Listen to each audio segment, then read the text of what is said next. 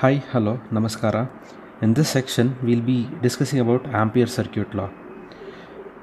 If you know, Ampere circuit law is similar to Gauss law, wherein we use Gauss law in finding the electric field intensity at a given point. Ampere circuit law helps us to calculate the current which is flowing within a conductor if I know the magnetic field intensity around that conductor. Okay. Uh, to explain this, let us first see the statement of this Ampere circuit law. So, Ampere circuit law states that the line integral of H around a closed path is the same as the current I enclosed by that path. So, by that path here means to say the current that is flowing within that particular conductor. Okay. So, the equation is given as closed integral or closed line integral. Okay of h dot dl where h and dl are both vectors that is equal to the current enclosed so what it states is if i take the magnetic field around if i take the magnetic field around the conductor in a closed manner okay in a closed manner and integrate it along the whole length then i can calculate the current that is enclosed in that particular closed path. Okay? So to understand this what I have made is I've taken a three-dimensional view where I have x y z. So I have a conductor. So assume this as my conductor. I've just taken a portion of the conductor okay? And the current that is flowing in the conductor is in this fashion. Let us assume the current that is flowing in the conductor is this fashion. If that is the case if I hold my right hand where the thumb is uh, pointing out to the current you can automatically make sure that this is how my magnetic field will be curling around that particular conductor. Okay? So this green line whatever we are showing that corresponds to the H field or the magnetic field. Fine. So how to solve this? How to solve this particular problem? So we have already seen a derivation in Biot-Savart law wherein if I have an infinite conductor so my magnetic field at a point due to infinite conductor is given by I divided by 2 pi r in the direction phi cap. That's where we had stopped in the previous video. So this is what we know the magnetic field intensity and that is how the magnetic field intensity is calculated.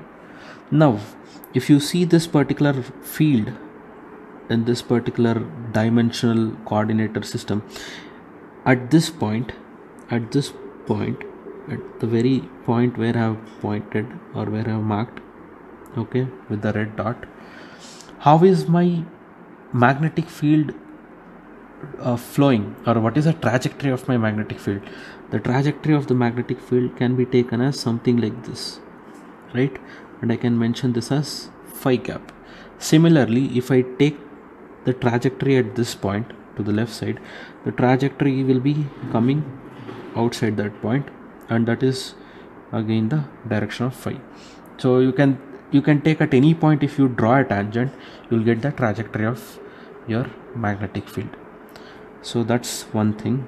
The second thing what i wanted to know, note now is let me call this field i'm calculating is at a distance r from the origin. Okay this is origin and it is at a r.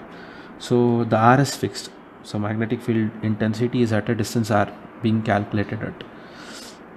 So how can i calculate that particular magnetic field?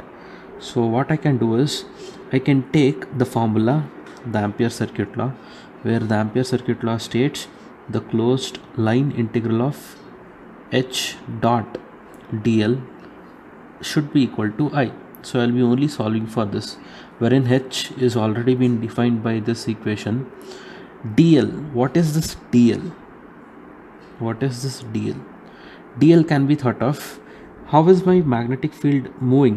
So if i take a small differential length of my magnetic field it is moving in the direction of phi cap.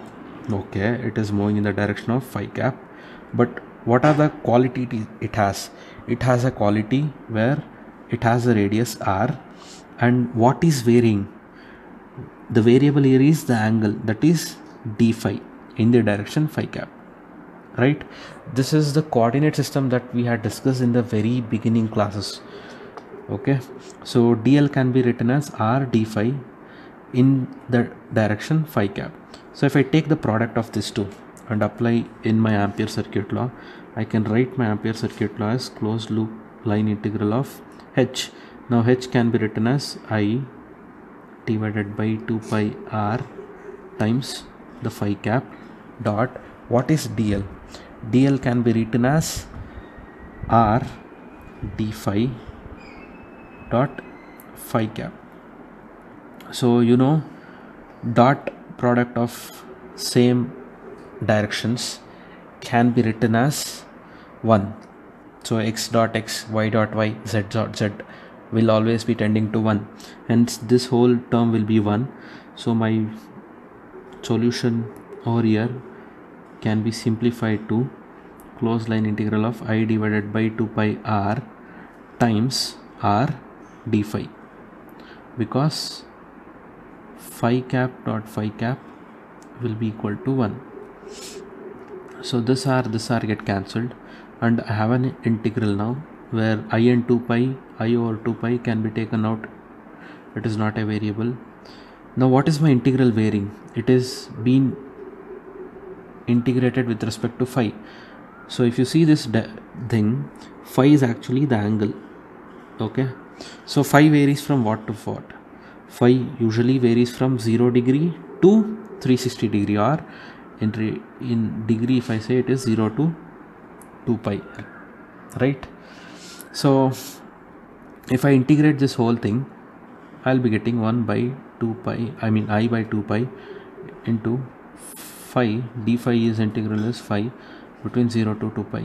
On solving this integral I'll be getting i over 2 pi into 2 pi minus 0 or it is just 2 pi 2 pi 2 pi get cancelled off. So you got i. So that means to say if I integrate this particular expression that h dot dl if I know the magnetic field around a conductor and if I go in a closed path it is not an open integral it's a closed integral. I have to complete I have to integrate along the whole closed path. So when I do that closed path integration I can calculate the current that is flowing within that conductor. That is what ampere circuit law states. So in brief ampere circuit law states closed line integral of h dot dl will be equal to the current enclosed in that particular conductor.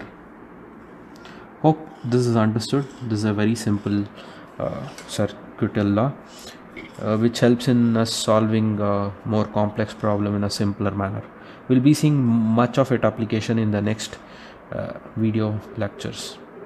Any doubts any queries as usual just drop in your text or comment it i'll try to answer it. Thank you